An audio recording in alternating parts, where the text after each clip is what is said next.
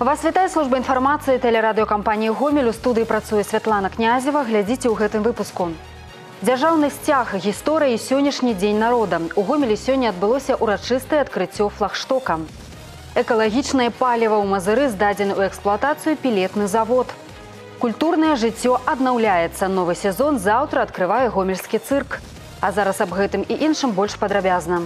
Сёння ў гомелі прайшла ўрачыстая цырымонія адкрыцця флагштока дзяржаўнага флага Рэспублікі Беларусь і ўшанавання пераможцаў, якія дасягнулі найлепшых паказчыкаў па выніках работы ў 2019 годзе. Нашы карэспандэнты з падрабязнасцямі. Урачыстая цырымонія пачынаецца каля мемарыяла вечны агонь. Па вялікім рахунку гэта даніна павагі пакаленню, якое ў цяжкую гадзіну адстаяла свабоду і незалежнасць радзімы, часта цаною уласных жыццяў. Менавіта тут разгортваецца дзяржаўны флаг Рэспублікі Беларусь Беларусь памерам 12 на 6 метраў. Сімвал суверэнітэту і свабоды, моцнай, квітнеючай і бяспечнай Беларусі. Па галоўным праспекце Гомеля калона накіроўваецца да плошчы Леніна, дзе пабудаваны 60-метровы флагшток. Упершыню ў Беларусі плошча дзяржаўнага флага была адкрыта ў мінску ў 2013 годзе. Другім горадам у рэспубліцы і першым у нашым рэгіёне, дзе з'явілася такое збудаванне, стаў Гомель. Каждый человек хочет жить в красивом месте, и наш город, город Гомель, по праву славится своей красотой, своим уютом. И сегодняшнее мероприятие, поднятие государственного флага над площадью нашего города это замечательное событие. Поэтому сегодня мне хочется пожелать всем гостям и жителям нашего города, чтобы на этой замечательной площадью под этим флагом, чтобы этот флаг стал местом встреч для многих людей. Пусть люди встречаются, объединяются. Дзяржаўны флаг – гэта гісторыя будучыня беларускага народа, увасабленне ідэі нацыянальнай еднасці, важнейшы атрыбут суверэнітэту і незалежнасці айчыны. 14 мая 1995 года на ўсенародным рэферэндуме 70% насельніцтва падтрымала рашэнне аб увядзенні змяненняў у дзеючую на той момант атрыбутыку. Так Беларусь набыла сучасны флаг. Яго сімвалічныя колеры адлюстроўваюць надзеі народа на дабрабыт, мір і дабро. Чырвоны колер знак сонца гэта сімвал перамогі і шчаслівага жыцця. Зялёны колер прыроды і развіцця. Белы азначае гасціннасць і добразышлівасць жыхароў Беларусі. Цяпер каля гэтага флагштока ў гомелі будуць праходзіць найбольш значныя грамадска-палітычныя мерапрыемствы. І самае першае ушанаванне пераможцаў, якія дасягнулі найлепшых паказчыкаў па выніках работы ў 2019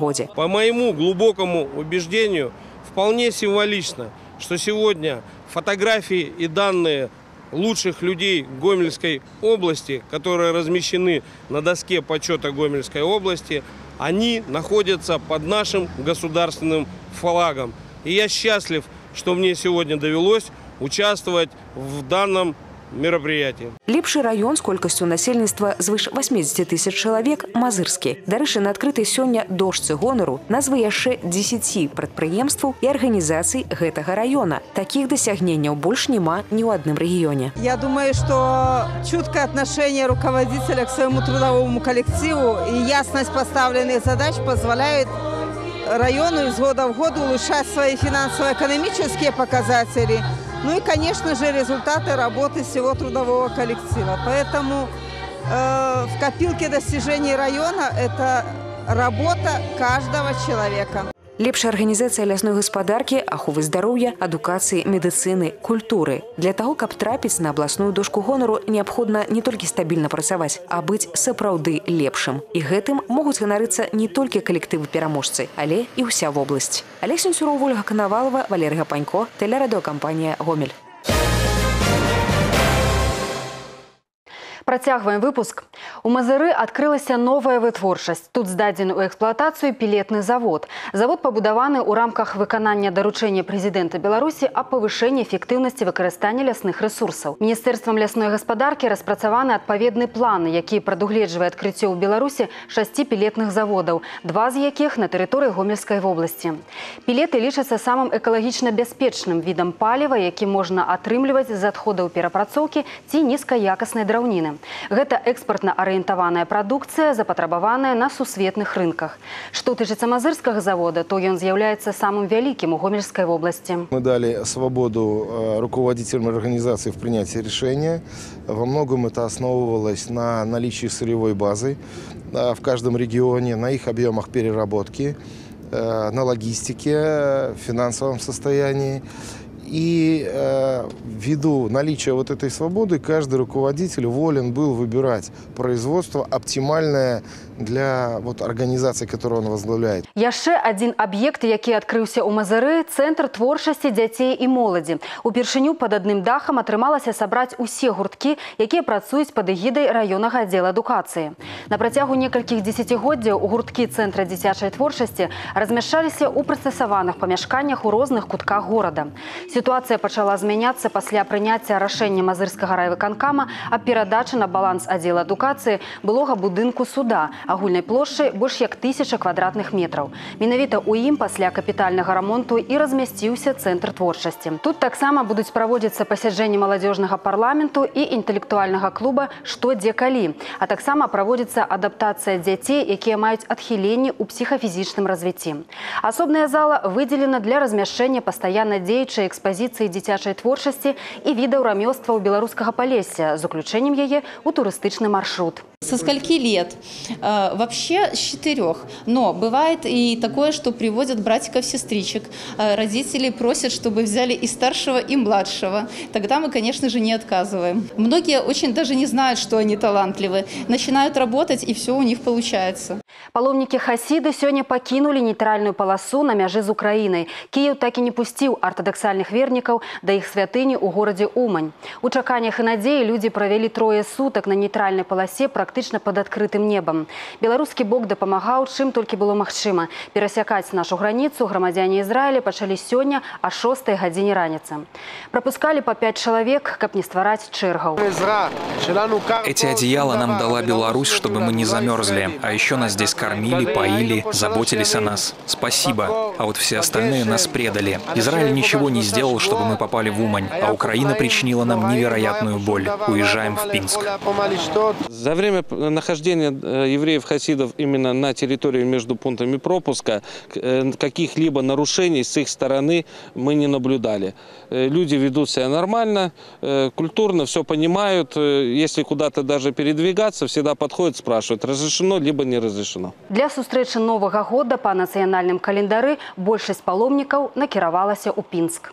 Спачатку папярэджванне, а на другі раз штраф. За ўдзел у несанкцыянаваных мітынгах непаўналетнія могуць атрымаць адміністрацыйнае пакаранне ўнушальнага памеру. І такіх выпадкаў у гомельскай вобласці дастаткова шмат. Напрыклад, на гэтым відэа яно прадастаўлена абласной пракуратурай, ідзе гутарка памочніка пракурора з 17гадовым юнаком. Ён навучэнец адной з адукацыйных устаноў рэгіёна. Па закліку сяброў 10 жніўня паехаў на пратэсны мітынг у Мазыр. Дарэчы, юнак раней выхоўваўся ў апякунскай сям'і. Зараз яго папячыцелем з'яўляецца ліцэй, дзе вучыцца падлетак. Такой бравады, як падчас мітынгу на гутарцы з работнікам пракуратуры, хлопец больш не выказвае. Наадварот, прызнаецца, што было страшна і зараз бы ніколі не пайшоў. Кіраўніцтва, педагог-псіхолог і сацыяльны педагог ліцэя правялі з навучэнцам прафілактычную работу, а як напамін аб учынку афіцыйнае папярэджванне ад праваахоўных органаў. Если бы я знал, что эти мероприятия незаконны, я бы сам, ну, сам туда не пошел. Не пошел бы. Если бы знал, что незаконно, то не пошел бы, да?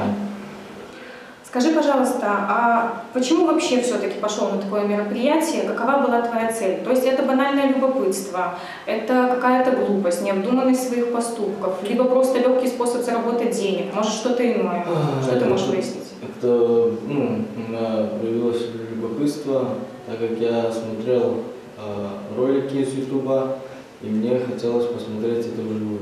А о чем ты смотрел ролики? Какие ролики смотрел? Э, массовые мероприятия. Массовых Скоп- мероприятий? Скопление людей. Это, О массовых мероприятиях Да. скоплениях людей? Скажи, пожалуйста, а вот будучи на данном э, незаконном, несанкционированном митинге, вообще какие ваши действия были? Что вы там делали? Какая ваша задача?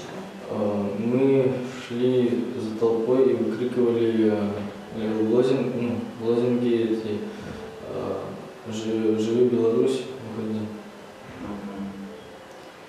Понятно. А вот скажи, пожалуйста, ты вообще как считаешь, такого э, рода мероприятия безопасные или нет? Э, Нет, это небезопасно.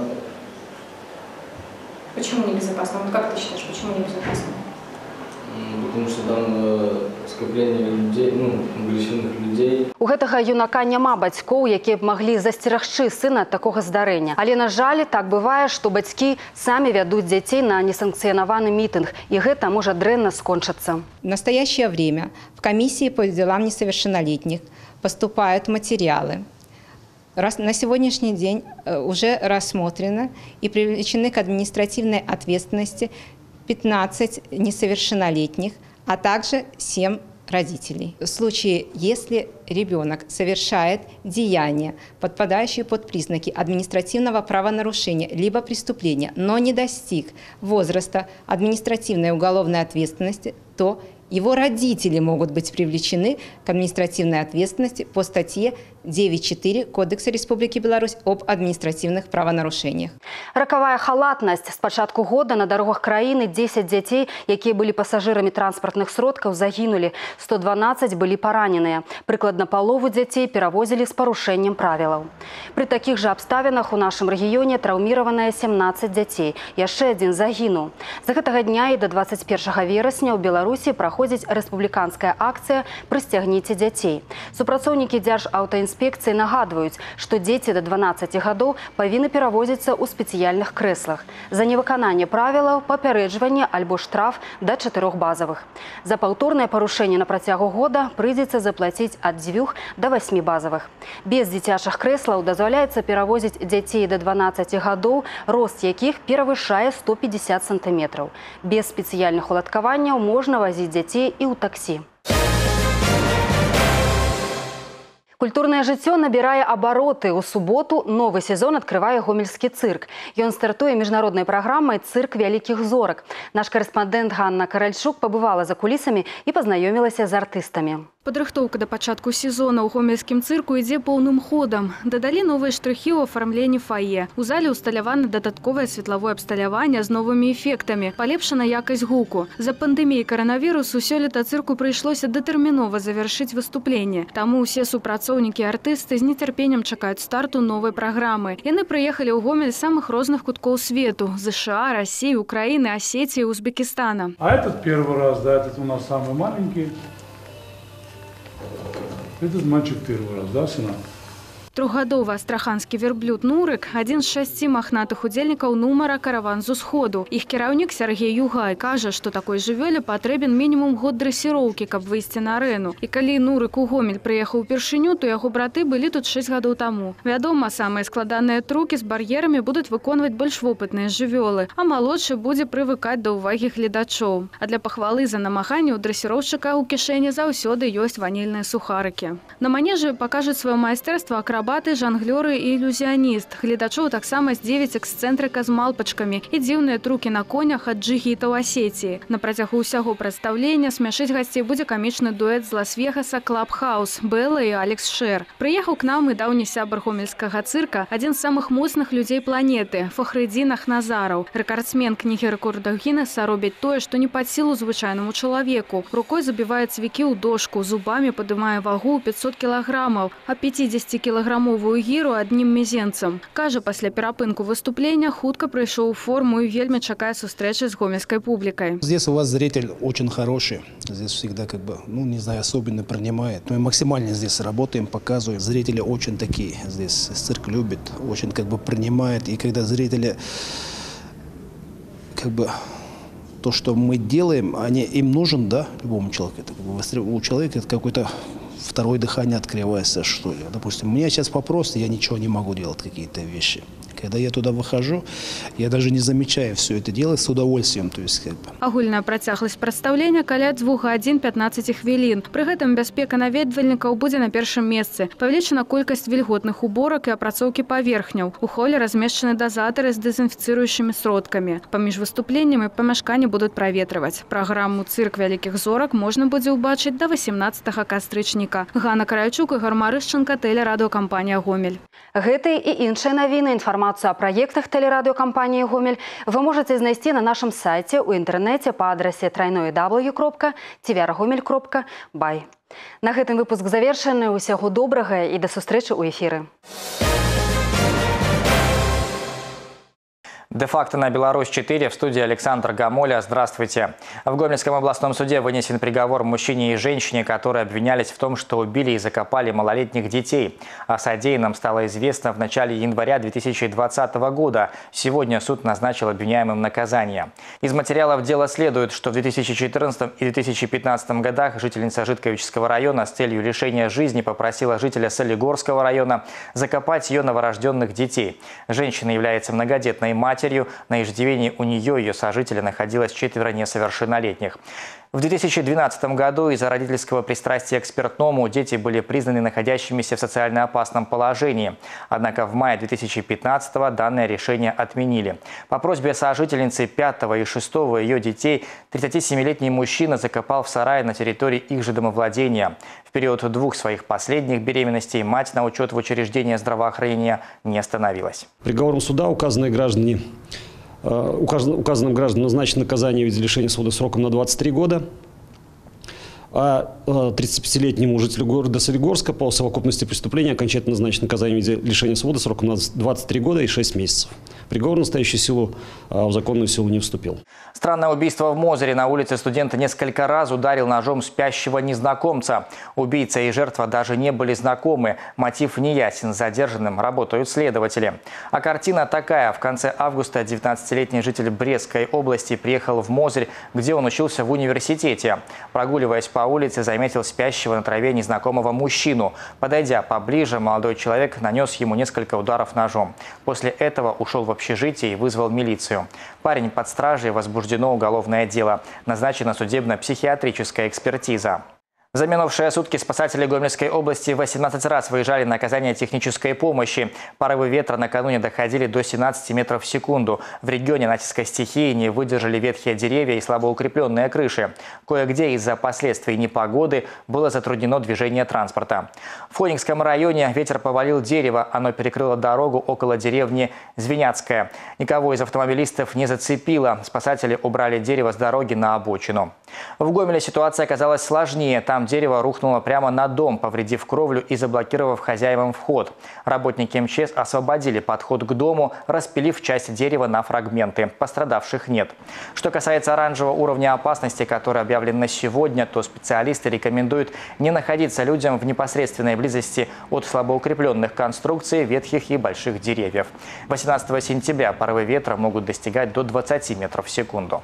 Сегодня в Гомеле к торговому центру «Мандарин» в 9 утра были направлены пожарные на расчеты МЧС. В магазине «Остров чистоты» произошло возгорание. Сработали автономные системы пожаротушения. Как сообщили в МЧС, ущерба нет. ЧП удалось ликвидировать на ранней стадии. Речь о возгорании рулонов туалетной бумаги, находившихся на стеллаже. В причинах сейчас разбираются специалисты. Предварительная версия замыкания электропроводки. Пострадавших нет. Эвакуация людей не проводилась. К пожарам в регионе на территории Мехдвора в деревне Куритичи Петриковского района горел кирпичный гараж для большегрузного транспорта. Огнем было повреждено 150 квадратных метров кровли. Пострадавших нет. Причина пожара по предварительной версии кроется в попадании источника огня извне вследствие перехлеста проводов на линии электропередачи. А в Еремино Гомельского района пришлось тушить деревянный сарай. Он загорелся около полудня на улице 55 лет Победы в одном из частных подворий. Пострадавших нет. Причина устанавливается. Предполагается неосторожное обращение с огнем. Застрял в штабеле дров. В Добруше работники МЧС спасли щенка. Он провалился в пространство между дровами и зданием котельной, расположенной на территории средней школы номер 5. Услышав жалобный лай, люди вызвали спасателей. Те при помощи гидравлического инструмента отодвинули бревно и вызволили щенка из ловушки. Для него все закончилось благополучно. В ветеринарной помощи он не нуждался. В знак благодарности повелял спасателям хвостиком. Это вся информация выпуска. Я Александр Гамоля. Благодарю за внимание. Оставайтесь на Беларусь 4. На телеканале «Беларусь-4 Гомель» новости спорта. В студии Анна Кральчук. Здравствуйте. Сыграны очередные поединки чемпионата Беларуси по хоккею среди команд экстралиги. «Металлург» не порадовал болельщиков победой. Подопечные Анатолия Степанищева потерпели поражение от солигорского «Шахтера» 2-3. Гомель встретился на своей площадке с Минской юностью. Подопечные Сергея Стася уверенно обыграли гостей 4-1. Открыл счет Ревенко. На пятой минуте Кашкар сравнял счет и оформил оформил единственный гол от столичной команды. Во втором периоде Скоринов увеличил отрыв. В третьей 20-минутке сначала Ревенко оформил дубль, а затем Нестеров удвоил счет. Следующий матч запланирован на завтра. Рыси примут на своем льду Солигорский «Шахтер». Начало в 17.00. В эти выходные пройдут поединки третьего тура чемпионата Беларуси по мини-футболу. В субботу, 19 сентября, ВРЗ сыграет с мини-футбольным клубом «Борисов-900». Стартовый свисток прозвучит 15.00. А 20 сентября на площадке спорткомплекса «Локомотив» сойдутся БЧ и «Столица». Начало встречи в 11.00. В 24-м туре чемпионата Беларуси по футболу среди команд высшей лиги «Мозырская Славия» встретится с «Шахтером». Матч пройдет 20 сентября, начало в 17.00. А в 18-м туре национального турнира среди команд первой лиги Светлогорский химик примет Пинскую волну. Футбольный клуб «Гомель» на своей площадке сыграет с реческим спутником. «Локомотив» в воскресенье встретится с Дзержинским арсеналом. Сегодня стартовали областные Олимпийские дни молодежи по вольной борьбе. Участвуют по 10 девушек и юношей от каждого района. Все спортсмены 2003 года рождения и моложе. Всего в областной центр приехало около 120 борцов из Мозыря, Светлогорска, Кормы, Будокошелева. Для кадетов это вторые официальные соревнования в этом году после продолжительной паузы. Завершится турнир 19 сентября. Это отбор к Олимпийским дням молодежи Республики Беларусь, которая пройдет 1-3 октября в городе Минске. Областная спартакиада детско-юношеских спортивных школ под дзюдо началась сегодня в Гомеле. За награды борются юноши и девушки 2005-2006 годов рождения. Всего более 100 спортсменов. Этот турнир станет отборочным. По итогам соревнований будет сформирована команда на республиканскую спартакиаду, которая пройдет на следующей неделе в Минске. Некоторые из этих спортсменов боролись по более старшему возрасту. Вот. э, Ну, в основном некоторых первые соревнования, да. Мы успели захватить январь-февраль только, уже с марта соревнования отменились. Вот кто поборолся эти два месяца, тот успел побороться. Кто нет, вот считайте, полгода, то и больше уже, даже месяцев 8 не выступал. В Гомеле проходит первенство области по шахматам. В турнире участвуют мальчики и девочки до 8 лет из Гомеля, Мозыря и Калинкович. Определяют победителей в нескольких категориях – классика, блиц и быстрые шахматы. За призы борются около 40 человек. Продолжится турнир до 20 сентября. В таком возрасте очень радует, зарегистрировались спортсмены уже и вторых, и третьих разрядов.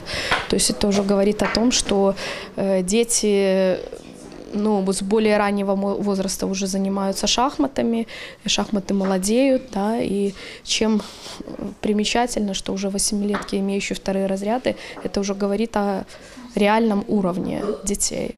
А на этом пока все. С новостями спорта вас знакомила Анна Крайчук. Оставайтесь на Беларусь 4.